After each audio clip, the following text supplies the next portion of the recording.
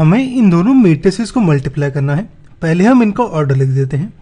ये वाले मैट्रिक्स की मेरी दो रोज और तीन कॉलम्स हैं तो इसका ऑर्डर होगा टू क्रॉस थ्री ये वाले मैट्रिक्स की मेरी तीन रोज और दो कॉलम्स हैं तो इसका ऑर्डर होगा थ्री क्रॉस टू अगर मैं इन दोनों को मल्टीप्लाई कर रहा हूँ, ये दोनों मैट्रिक्स को तो मेरा ये वाला नंबर और ये वाला नंबर सेम होना चाहिए, जो कि है तो मल्टीप्लीकेशन पॉसिबल है।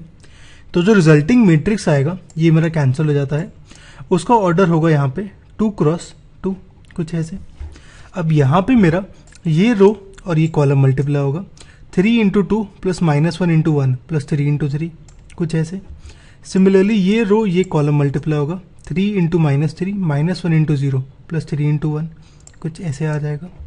सिमिलरली ये रो, ये कॉलम मल्टीप्लाई होगा। Minus one into two plus zero into one plus two into three कुछ ऐसे। एंड सो वन इसको हम सॉल्व करें तो मेरी यहाँ पे वैल्यू आती है कुछ। ऐसे